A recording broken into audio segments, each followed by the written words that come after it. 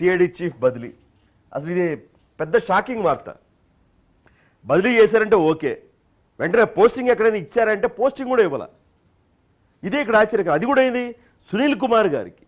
ముఖ్యమంత్రి జగన్మోహన్ రెడ్డి గారికి కానీ ప్రభుత్వంలోని పెద్దలకు కానీ అత్యంత ప్రీతిపాత్రమైన వాళ్ళు ఇష్టులు మంచి సన్నిహిత సంబంధాలు కలిగిన వాళ్ళు.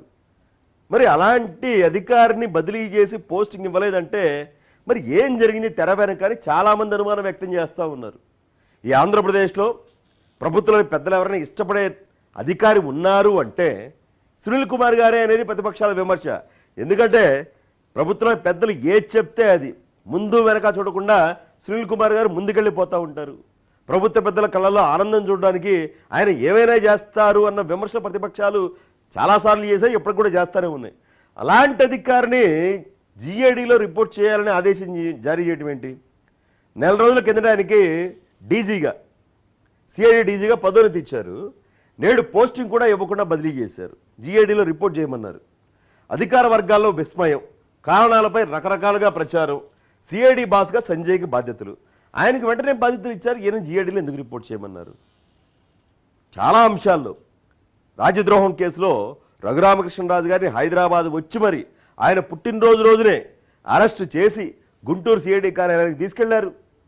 అక్కడ కస్టడీలో ఆయన పైన థర్డ్ డిగ్రీ ప్రయోగించారు అని కూడా చాలామంది విమర్శలు చేశారు. ఆయనే చెప్పారు రఘురామకృష్ణరాజు గారు.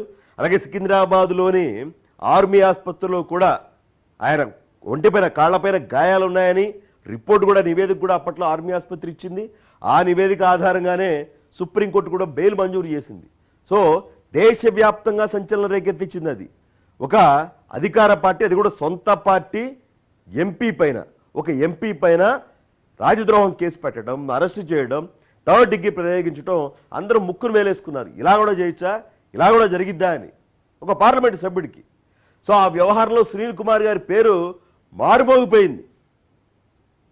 ఆ క్రమంలో ఆ తర్వాత చాలామంది పైన అరవై ఏళ్ళ ముసలావుడి పైన కేసులు పెట్టారు.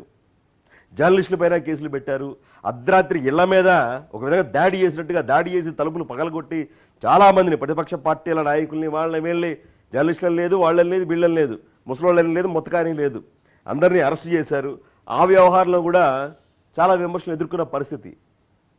అలాగే ఆలయాలపైన దాడులు జరుగుతూ ఉంటే ఆ వ్యవహారాన్ని కూడా ఈయనకే అప్పచెప్పారు సునీల్ కుమార్ గారికి.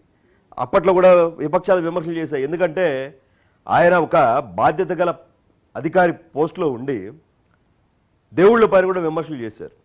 హిందూ దేవుళ్ళ పైన వ్యతిరేకంగా కొన్ని విమర్శలు కొన్ని మతాలకు అనుకూలంగా చేయడం జరిగింది. సో దానిపైన కూడా అప్పట్లో విమర్శలు వచ్చాయి. అలాంటి భావజాలం గల వ్యక్తికి ఎలా ఇస్తారు ఇలా? ఏది రామతీర్థంలో రాముడి శిరస్సును ఏదైతే విగ్రహం ఖండించారో ఆ వ్యవహారాలు కూడా అప్పచెప్పారు సో అది పరిస్థితి. మరి ఏది కావాలంటే చేసి పెట్టారు. మరి ఎందుకు ఏంటి అనేది చూడాలి.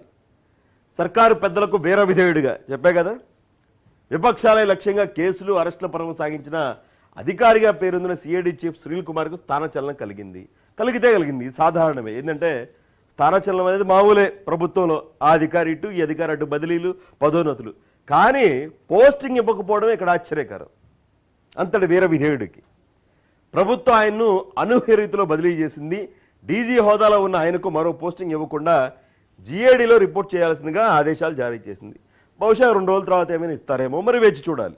లేదు అంటే మరి ఆయన ఎన్నికల్లో పోటీ చేస్తారు తన పదవికి రాజీనామా చేసి స్వచ్ఛంద పదవి విరమణ పొంది అని కూడా కొన్ని వార్తలు కూడా వచ్చాయి. అదేమన్నా ఆ దిశగా అడుగులేస్తున్నారా ఏంటి అనేది కూడా